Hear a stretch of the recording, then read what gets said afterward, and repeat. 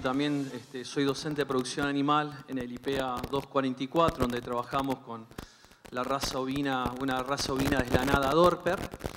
Este, esta charla eh, la, daba este, Hernán Lovera, que es un especialista en parásitos, eh, desgraciadamente no está en, persona con nosotros, pero bueno, vamos a, uno ha sido este, discípulo de él, así que bueno, espero dignificarlo con esta charla y poder llegar a todos ustedes, ¿sí? principalmente a los estudiantes. No va a ser una charla magistral de parásitos, sino que vamos a tratar, como son todos chicos de la zona y productores de la zona, vamos a tratar de eh, conocer los parásitos que nosotros tenemos aquí en la zona y este, poder identificarlo. Por supuesto que siempre cuando uno habla eh, de parásitos, de enfermedades, uno siempre tiene que estar trabajando al lado de un profesional.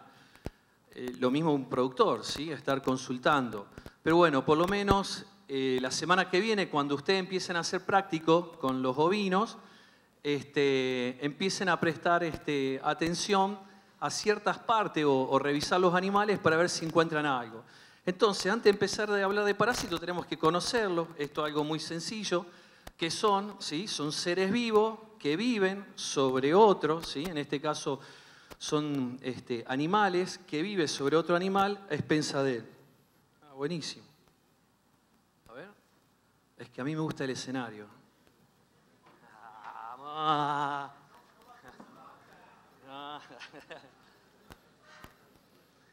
Este, che, acá se ve bien, así veo si alguien se duerme, trato de levantarlo.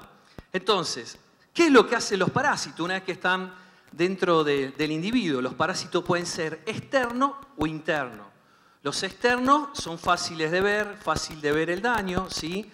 Los internos hay signos que te van indicando su presencia. Pero para eso tenemos que conocer los distintos tipos de daños que ellos producen, ¿sí? Una vez los peores son los internos, porque no los veo. ¿Y ellos qué pueden estar haciendo? Pueden estar generando toxinas, ¿sí? Que me va a enfermar el animal. Me pueden generar obstrucción. ¿eh? Esto es muy común en los cachorros. Todos ustedes tienen perro, tienen cachorro. Cuando están panzones, dice, tiene parásito. ¿sí? En los corderos pasa lo mismo. ¿eh? Hay un parásito, se llama ascari, un gusano. Hay mucho, obstruye, el alimento no pasa y se ponen este, panzones y también compiten por el alimento. ¿sí? Todos estaban hablando, estaban hablando de, las proteínas, ¿sí? de las proteínas del queso.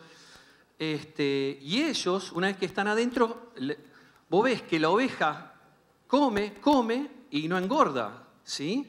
O come, come y no me produce leche. ¿Y por qué? Porque esos nutrientes no van a la oveja, sino que van al parásito. Por ende, siempre cuando van a estar con parásitos, la producción va a bajar. Si son parásitos externos, toda la mayoría de las ovejas, si tiene el vellón, tiene lana, va a afectar el vellón. Van a ver que, la, lana se corta, este, se empieza a pelechar. ¿eh? Eh, y en cambio, los internos principalmente va a estar afectada la producción y en el peor de los casos me van a generar mortandad. Y acá hay uno de los parásitos que está en la zona, está presente y que me genera mucha muerte súbita. Y él es uno de los responsables. Y ya le tiro el nombre. Aemoncus contortus, el gusano del cuajo se llama. ¿Sí? Entonces, esto es, ustedes mismos lo pueden estar haciendo, o el productor, ¿sí? se le muere un animal, y si se quiere sacar la duda, lo abre, mira lo que es el cuajo o el abomazo, ¿sí? Y, si tiene moncus, lo voy a ver así como si tuviera sanguinolento, mucho líquido, como si tuviera vino tinto adentro, ¿sí? Así es como lo noto y después empiezo a ver los gusanos. Entonces ya le empieza este, a sonar uno de los parásitos que vamos a estar viendo. Estas son las principales enfermedades parasitarias que tenemos. ¿eh? Vamos a hablar principalmente este, de tres, pero Se las nombro, los parásitos gastrointestinales son internos, no los veo, me afecta muchísimo la producción y eh, me generan mortandad, principalmente de los corderos. ¿eh? Las categorías más chicas son las más afectadas. El oestrus, el oestrus, hay nombres que, que te asustan, es el gusano de la nariz, que es muy común, que todos ustedes han visto, ¿sí? es el famoso moco. ¿eh? Eh, esto tiene. Ah, es el moco, ¿sí? que empieza a salir de la nariz, el famoso gusano de la nariz, que ahí lo vamos a ver con detalle, que es lo, qué es lo que hace, ¿sí? es una mosca, es un díptero, es una mosca. En cambio, los gusanos gastrointestinales son nematodes, unos gusanos más chicos o unos gusanos más redondos, pero esto lo tengo que tener en cuenta ¿sí? al momento de, este, de aplicar los tratamientos para, para los tratamientos curativos. ¿Qué es lo que tengo que hacer? Tengo que prevenir, tengo que evitar que los animales se me contaminen, ¿sí? que se contagien. Por eso tengo que conocer el ciclo de, los parásitos. La fasciola hepática esa es este, un parásito que afecta el hígado ¿eh? y afecta el hígado, se empieza, eh, se, empieza se llaman conductos biliares, por donde sale la bilis, todos conocen la bilis, se empieza a meter ahí y cuando empieza a ser este, como, este, como túneles, ¿sí? Predispone a que venga una bacteria atrás y le genera una, una hepatitis necrosante que puede llevar a la muerte. Entonces, otra forma, si veo que se mueren los animales, reviso el cuajo y también puedo estar cortando lo que es el hígado para ver si veo la fasciola. ¿Cómo la identifico? Parece una, una hojita. ¿sí? Es, una hojita como las, como las hojas de la alfalfa. ¿eh? Bueno, después tengo sarna, pediculosis, que son, este, son los piojos, la sarna es la sarna, esos son ectoparásitos, me afecta la piel y el vellón del animal. Y por último, la hidatidosis. Ahí nombro la hidatidosis porque es una enfermedad zoonótica, zoonótica, ¿sí? con Z. Se transmite ¿sí? del animal al hombre. ¿eh? Y en el ciclo juega un rol importante el perro, porque no es la oveja la que me va a, transmitir el parásito, sino que es así el ciclo. Carneo, carneo en el campo, carneo en el, colegio, ¿sí? y le tiro las vísceras crudas al perro. Y ahí voy, puedo llegar a encontrar en el pulmón, en el hígado, en el hígado ¿sí? unas bolsitas, ¿eh? como, como ampollas, unas bolsitas de líquido, donde eh, el perro al comerla sería el parásito en el estadio inmaduro. Entonces llega al perro, ahí en el, en el intestino del perro madura, y el perro, a través de su caca, ¿sí? de su cese, van los huevos del parásito, ¿eh? a través de las heces del perro. Entonces, si yo tengo una quinta, ¿eh? o el perro de feca, principalmente en el campo, uno tiene quinta, ¿sí? No lava bien la, verdura, ¿eh? los huevitos del gusano pasa al ser humano y esa ampolla que tenía, ¿sí? que se llama quistidatídico, que tenía la oveja, se me puede hacer a mí, en el hígado, en el pulmón y en el peor de los casos, ¿sí? en el cerebro. Moraleja, no le den vísceras crudas al perro. Y ahí se termina la hidatidosis bueno, ¿ah? No es tanta ciencia, ¿eh? ¿Hasta ahora han aprendido algo?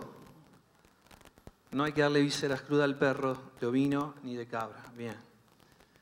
Eh, bueno, ahí están las pérdidas productivas, que es lógica por todo lo que dijimos. Va a disminuir la producción de carne, de leche, ¿sí? Menor, aceptación. ah, menor aceptación del macho en la encarnerada. ¿Vieron el oestrus? El oestrus que, que me genera moco, ¿sí? ¿Ustedes han visto alguna vez cuando las ovejas están en celo, como las vacas? Las vacas cuando están en celo, ¿qué hacen? No tengan miedo. Se montan, claro. ¿Han visto una oveja montar a otra? No, no se montan. Entonces el macho las detecta a través del olfato. ¿sí? Entonces si tengo esos gusanos, en la nariz le afecta los cornetes nasales, ¿eh? aparte se le infecta, usted comienza al inicia con una secreción así como, eh, como una clara de huevo, cuando se empieza a poner amarilla porque hay una infección. Entonces no solamente que hay que desparasitar, por eso busquen al veterinario, tenemos que llevar este plato de comida a casa. También del antiparasitario hay que usar este, antibacterianos, ¿sí? antibióticos. Entonces el macho empieza a perder el olfato y no puede detectar las hembras en celo. Entonces me disminuye la, encarnerada. Todo tiene un porqué. Bueno, eh, así, ah, bien rápido, ¿sí? vamos a ver los parásitos externos, ¿sí? principalmente, y que son de esta época del año. ¿eh? Tengo los piojos y la sarna. ¿eh? Ojalá no tengamos sarna, porque es más difícil de combatir. ¿Y cómo los voy a ver? Porque dije que es de esta época. El piojo y la sarna son de invierno. ¿eh? Entonces los animales, cuando tienen piojo y sarna, ¿qué piensan que van a hacer? Se rascan, exactamente, se empiezan a rascar, hasta se empiezan a morder. Vos decís, cuando ya el ovino se muerde, recuerden que el ovino no tiene diente, en el rodete dentario superior, o sea, para que se muerda es porque está muy molesto. Entonces tengo en los piojos dos tipos de, piojo. Bueno, eso porque desparasitar, bueno, me estoy adelantando. Este, ahí están los beneficios de prevenir las enfermedades, ¿sí? Uno tiene que prevenir, y estuvo bueno todo lo que, lo que exponían antes, y, le decían, eh, cuando, mostraban ahí este, los técnicos del INTA, este, Agustín, los corderos no se tienen que subir al comedero, no tienen que hacer, no tienen que hacer pis y caca en el comedero, no tienen que defecar. ¿Por qué? Y porque cómo ingresan los parásitos gastrointestinales al cordero, por la boca. No hay otra forma, no le entra ni por la piel, ¿sí? Este, ni va a saltar. Imagínense, no se ven, los huevos son microscópicos, las larvas son microscópicas, ¿sí? Entonces, ingresa por la comida. Entonces, estas son este, imágenes, son todos rodeos de acá, majadas de acá, de acá de la zona, ¿sí? aparte uno, este, uno realiza la, actividad privada, ¿sí? Son todas majadas de acá, y este, esta está hecha a propósito, porque sabía que venía. Esto es lo que tenemos que tratar de evitar. No tirarle el alimento en el suelo, ¿sí? Porque los, animales, el ovino principalmente, y la mayoría de los productores los terminan cerrando de noche. Pasa gran tiempo de su vida en el corral y está toda bosteada. Y si tienen parásitos, los parásitos están en la bosta. Y si yo le tiro la comida en el suelo, están levantando los huevos de parásito. ¿eh? Entonces, ¿qué, aprendo de, todo esto? Que son campos de la zona y todos los productores, lo que tengo que aprender, que los productores no son todos iguales. ¿sí? No son todos los productores ovinos iguales. Tienen diferentes ¿Cómo le va, profe? Gusto. Eh, eh, no todos los productores ovinos son iguales, tienen diferentes tipos de raza, diferentes tipos de, manejo, diferentes objetivos, diferentes pasturas. ¿eh? hay, hay, pocos, como yo digo, hay, hay productores de ovino y hay tenedores de ovejas aquel que no le hace un pastito a la oveja, ¿sí? o la tenga, no, las tengo para que me limpie el cuadro de la casa. Bueno, ahí ya pasás a ser un tenedor de oveja. ¿eh? Hágale en un verdeo, tírele en un granito. ¿sí? Yo lo cargo, cargo siempre un productor. Digo, tirale un granito de maíz. Me dice, no, no lo conocen, lo escupen. Así que, este, pero bueno, es la cosa linda de andar por el, por el campo. Bueno, ahí, vamos a conocer los parásitos. Entonces, los parásitos externos, tengo la sarna, los piojos y bueno, y las bicheras. Las bicheras son bien de verano. ¿eh? bien de verano y son actividades que realizamos con, los ovinos. Descolamos, castramos, señalamos, esquilamos. ¿eh? Son muchas actividades donde se realizan corte y realizamos corte en la piel y en el verano, primavera, verano, son este, muy fáciles de embicharse. Y ahora nos encontramos en el invierno con la sarna y con los piojos. Esto tan solo, los piojos tenemos dos tipos de piojos, masticadores y este, chupadores, o que succionan, ¿sí? Entonces, ¿qué tengo que aprender? Es solamente ver la imagen y saber que los masticadores los voy a encontrar sobre el lomo del animal. ¿Eh? Entonces ahora cuando revisen, cuando vayan al práctico, si ven animales este, rascándose, observen. A los masticadores les gusta el calorcito, entonces se van a ir al lomo. A los chupadores les gusta más la sombra, entonces los voy a encontrar más en la región del vientre. ¿eh? Entonces uno conociendo los parásitos y el daño va a ser lo mismo, va a afectar principalmente lo que es la producción este, de lana. Y con la sarna ya es más difícil porque la sarna, si se va a encontrar sarna, es de denuncia obligatoria. ¿sí? Deberían hacer la denuncia este, obligatoria. Y por supuesto, la sarna es una enfermedad también zoonótica, se puede transmitir a ustedes. Por ende, este, siempre trabajen con un profesional ¿eh? y trabajar con guantes. Y tengo tres tipos de sarna. Y bueno, y aprovechando acá con la gente de la rural y le comento que, hay productores, cuando se hace la rural, ¿sí? Este, en septiembre, nosotros hacemos admisión. Todos los animales que ingresan los revisamos para ver si están aptos. Y cuando revisamos, también revisamos, y van a ver ahí, ¿sí? revisamos lo que es la parte de la cabeza, revisamos los rodetes dentarios, revisamos las patas y revisamos los escrotos ¿sí? de, los machos, no solamente por la parte reproductiva, también sino buscando la presencia de sarna. ¿eh? ¿Ven? Una, más allá de los nombres, hay una que es la soróptica, todo el cuerpo del animal, la sarcóptica, lo que es este, la cabeza, y la chorióptica es lo que es pata, ¿sí? ¿Observan eso? ¿Eh? La sarna es un habitante de la piel. ¿eh? los piojos están por encima de la piel. Ellos están dentro de la piel. Y nosotros nos podemos este, contagiar. ¿Eh? Ahí lo ven, son casos extremos. Son de denuncia obligatoria. Lo bueno es que los parásitos externos los puedo estar combatiendo a todos con lo mismo y con los mismos principios activos. ¿eh? Ah, hay una cosa que, me olvidé, ¿sí? Bueno, y uno lo puede estar observando acá. La, la sarna, ¿cuántas patitas cuento? ¿Eh? Ocho. Y en los piojos cuento seis. Entonces uno es un ácaro, un arácnido, el de ocho patas, y los piojos son insectos. ¿sí? Entonces, lo puedo estar, eh, se usa mucho en la Patagonia, lo que son los baños, los baños de inversión de los animales. Puedo estar utilizando inyectables que se usan mucho. Este, bueno, esto cuando hablemos de antiparasitarios, sí hay que tener en cuenta, hay que rotar los antiparasitarios, usar la dosis correcta. ¿eh? Pero este, se usa mucho lo que es ivermectina, doramectina.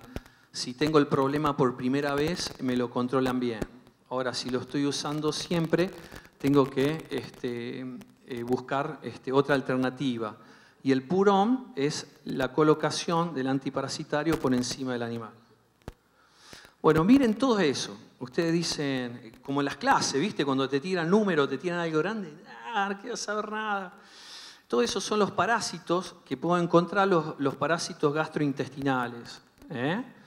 Pero lo que a mí me importa, y son los que están acá presentes, y le aseguro que, en, todos los campos de la región, y a uno como veterinario, cuando te llaman, siempre son por los mismos, Y Hernán, este, Hernán Lovera había hecho un estudio y vio que la prevalencia en todos los establecimientos de la zona es alta, ¿sí? son lo que es el con tortus o el gusano del cuajo, ¿eh? son todo el agrotécnico, sexto año, séptimo, ya han visto este, el sistema digestivo, el rumiante, lo conocen a la perfección. Y yo de acá le veo la cara a todos. Eh, entonces recuerden, retículo rumen, el omaso y el abomaso o estómago verdadero. ¿eh? Ahí es donde va el aemoncus o el gusano rojo. ¿Por qué gusano rojo? Porque es rojo. ¿Y por qué es rojo? ¿Se imaginan? Es, es el Drácula de los parásitos. Entonces, ¿qué se alimenta? De sangre, claro, y por eso se ve rojo, ¿sí? Y por eso el contenido tiene un color vino tinto, ¿sí? Yo lo abro y voy a ver este color vinoso, sanguinolento adentro, ¿eh? adentro de ese abomazo. ¿Y qué pasa con el amonco? Bueno, el amonco es muy común de la época, comienza a principio de primavera y actúa en otoño. Ya dentro de unos días el tipo se va a dormir. ¿Por qué? No le gusta el frío. Y ahora ustedes me dicen, se va a dormir. ¿Dónde duerme? Eso se llama hipobiosis el tipo va a ingresar en el, en el ovino y se va a meter entre las glándulas ¿sí? del abomazo. Y, ahí va a quedar dormido unos tres meses, cuatro meses, ¿sí? hasta, que, hasta que comience la primavera. Entonces, ¿es necesario desparasitar en ese momento? No, porque el tipo está dormido, no está activo. ¿sí? Y el antiparasitario este no, no llega. Y, pero sí me voy a encontrar ahora ¿eh? con el Trichostrongylus, este. Suena difícil el nombre, pero a ver si tengo... Ahí están, ahí están los dos. ¿Sí? Esos son los signos que voy a tener. En el aemoncus, como es la palabra, dice que es hematófago, se alimenta de sangre, entonces el animal se va a poner anémico, ¿sí? Anémico, blanco. ¿Por qué? Porque le faltan los glóbulos rojos. ¿eh? ¿Dónde es la parte más común de observar? Sí, es la conjuntiva del ojo. Y hay un método que se llama FAMACHA, hay una tablita donde voy comparando las coloraciones, práctico espectacular para los profes. ¿sí? Semana que viene imprimen la tabla FAMACHA, los ponen a todo con las ovejas, ¿eh? ya le voy armando, ya le voy armando el práctico. FAMACHA, condición corporal, y otra, porque a veces puedo ver los animales anémicos y digo, uy, tiene parásito. Y cuando le, abro la boca, no tiene diente. ¿Sí? Entonces el tipo no come. Entonces la anemia puede ser o por los parásitos o por la falta de comida. Entonces vamos a empezar a usar el, criterio. ¿eh? Ahora, si me come, me come y no engorda, y clavadísimo, ¿sí? Que es parásito. Y bueno, acá está el profe del INTA que, lo vamos a tratar al tema también. Vamos a HPG, ¿sí? que hagan, lo ideal es hacer un complemento, tomar muestra de, materia fecal y hacer un HPG, que es un recuento de huevos de parásito por gramos ¿sí? este, de materia fecal. Entonces, uno lo que tiene que, que ver, que según la cantidad, hay veces que es más, muchos de nosotros podemos estar con parásito en este momento y no tenemos signos. ¿Por qué? Porque la carga parasitaria es baja y nuestro cuerpo la soporta, ¿sí? está, está en equilibrio, convive. Pero cuando la carga parasitaria empieza a elevarse, que eso me lo determina el HPG, me puede estar indicando que es el momento de desparasitar. Entonces yo ahí hago desparasitaciones estratégicas. Entonces, cada, cada gusanito se alimenta 0,05 mililitros. Si yo llego a tener 5.000 gusanos dentro del cuajo, me están consumiendo por día 250 mililitros. Botellita de Coca-Cola, no, no tengo que decir la publicidad. Botellita de gaseosa chiquita, por día. ¿Está? Por eso me vienen las muertes súbitas. ¿eh? Ustedes recuerden que más o menos de sangre tenemos un 10% del peso vivo. ¿eh? Así que un corderito de, 5 kilos, medio litro, la mitad se lo mandaron los gusanos, listo, al otro día el cordero muerto, muerte súbita. ¿Qué harían entonces? A ver si entendieron algo. No tengan miedo. Después, me hacen las preguntas y ahí hago agua. Lo abren, ¿qué van a mirar? ¿Eh? ¿Eh?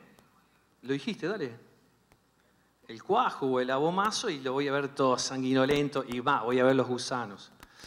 Y, este, y, otro, y un signo subclínico, como el tipo se alimenta de sangre, se alimenta de proteínas, las la sangre tiene proteína y la función es chupar el líquido, ¿sí? por eso la sangre es líquida. Entonces, si el gusano se alimenta de la sangre, se alimenta de las proteínas de la sangre, la sangre pierde efecto osmótico. Entonces ese, líquido de la sangre empieza a pasar a los tejidos. Y algo muy común, pero muy, muy común, es esto. ¿sí? El edema por debajo de la mandíbula o cuello de botella le llaman. Entonces, si usted ven un cordero así con edema y hacen el famacha, le miran la conjuntiva, es blanca, este, es casi 100% que tiene Aemoncus. ¿eh? Bueno, eso es para conocer un poco el ciclo, ¿sí? Y son valores promedios. Si yo me pongo, eh, es biología, ¿sí? Ahí están los valores de eh, promedio de la población de los parásitos gastrointestinales. Entonces, esto, ¿para qué me ayuda a mí? Me ayuda para prevenir, ¿sí? Porque el ciclo, el ciclo empieza acá, con las heces del ovino, y ahí están los huevos del parásito. Y observen, estos son, estos son los huevos del parásito, y eclosiona y sale una larva pequeña, L1. Al otro día ¿sí? pasa a L2. Y más o menos a los 5 días pasa a L3. Y ahora ustedes seguro que dicen, ¿qué me importa a mí? ¿Qué, L1, L2, L3? ¿Saben por qué es importante conocer esto? Porque la L3 es la infectiva. Si la oveja, el cordero, se come una L1 o L2, no pasa nada. Ahora se come la L3, el, el L3, y ahí empieza, ¿sí? Esa es la que me va a infectar el animal, es la que me va a enfermar el animal. Entonces, ¿qué tengo que conocer? Que más o menos me lleva cinco días. Cinco días llega a L3. Entonces, si yo, ¿cómo puedo prevenir? Haciendo pastoreo. ¿Qué tipo de pastoreo? Rotativo. ¿Cuánto tiempo voy a tener los animales en, e, ese piquete que hice? Y tener los cinco días. Ya con el día sexto, ¿sí? Y más si hago este, un pastoreo muy intensivo, llego hacia abajo, tengo altísimas probabilidades de que mis animales se me contaminen, ¿eh? se contagien. ¿eh? Entonces esto me va abriendo la cabeza para ir previniendo las parasitosis gastrointestinales. Rotación, hacer rotación de cultivo. ¿Cuánto tiempo de permanencia? Y cinco días. El famoso que cuando, cuando estudiamos la alfalfa, vieron que soy ingeniero agrónomo también, así que algo de alfalfa, sí. Ah, era. No, pero cuando vos le estudiás, ¿sí? ¿Se acuerdan? Este, el 7 por 5 o el 5 por 7, ¿eh? para, para, ir haciendo los, potreros. ¿eh? Entonces, eh, tener los 5 días. ¿Y qué lo voy a hacer? ¿Lo voy a hacer comer hasta el fondo, hasta abajo? Lo ideal sería que no. Después va a depender de cada tipo de pastura. Por ejemplo, si es alfalfa, seguro un productor va a decir, sí, se te van a empastar. pero es un riesgo, una de las metabólicas. Adaptemos, no mandemos las ovejas hambriadas, entonces digo, no mandé las ovejas hambriadas a alfalfa, no se te van a empastar. Entonces, si una alfalfa vos la haces comer al ras, no la tengas más de cinco días. Si son verdeos, los verdeos hay que dejarle unos 5 centímetros, porque ahí están todas las reservas para que se puedan rebrotar. Entonces, yo haciendo comer ¿sí? la pastura hasta unos 5 centímetros, evito que me estén levantando los parásitos. ¿Vamos abriendo la cabeza? ¿Sí o no? Ahí están, para, así es como lo voy a ver. Ese es un abomazo abierto, ¿sí? ¿Ven? Color sanguinolento y ahí se encuentran este, las larvas. Bueno, se dice que tiene eh, forma de palo de barbero. ¿Vieron? Eh, ¿Vieron los palos cuando van a las barberías? Yo, chico, hace mucho que no voy yo, ¿eh? ustedes sabrán. Pero he visto, ando por la calle y veo, ven los palos de barbero que tienen ese color rojo y azul que da vuelta. Entonces, acá, esto es el intestino que gira y al tener sangre se ve rojo. Las hembras tienen unos 3 centímetros de largo y el macho, bueno, o sea, el máximo que vas a encontrar son gusanos de 3 centímetros y de, de un centímetro, centímetro y medio son, generalmente son los machos. Bueno, eso es este, más de lo mismo, es lo que estábamos hablando, ¿sí? Este, a ver si ustedes en esta imagen ven que esto me había olvidado. El gusano no trepa, son chiquititos, no, no, no trepa. ¿Quién es lo que ayuda a trepar? Es el rocío, el agua, ¿sí? Entonces, esa es otra cuestión a tener en cuenta, ¿sí? Si voy a alargar los animales, tengo que esperar este, que pase el rocío. ¿eh? La gota se seca, los gusanos van cayendo hacia el suelo, tengo menos probabilidad de, que mi animal lo esté levantando. Este es el famoso Trichostrongylus, con el que me voy a poder encontrar ahora, son unas diarreas bien verdosas. Además, todos, todos, conocen la materia fecal, las heces de las ovejas y la cabra, ¿cómo son? Son todas pelotitas, exactamente. Ese, ¿cómo le dicen en el, en el campo? La famosa churretera. Si está con churretera, tengo dos opciones. Una, o los mandé un verdeo. Si le digo verdeo de invierno, ¿qué me dicen ustedes? Tírenme un nombre, a ver. Avena, muy bien.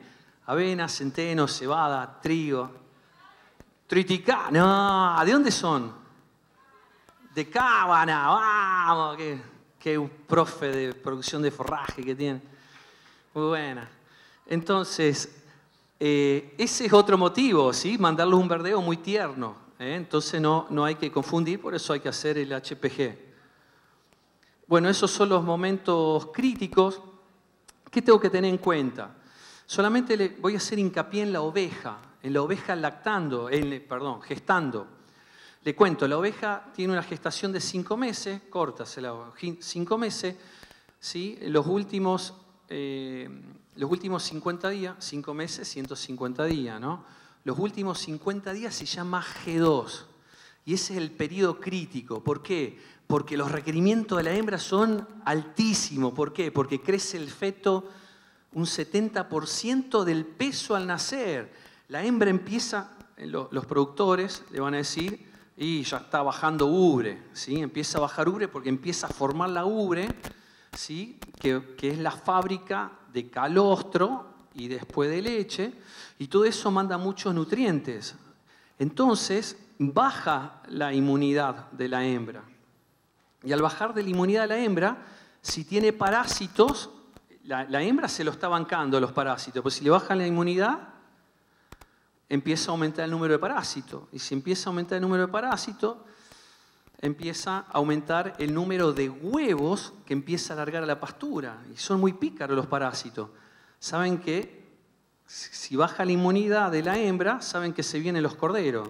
Y a ellos lo que están apuntando este, poder este, parasitar.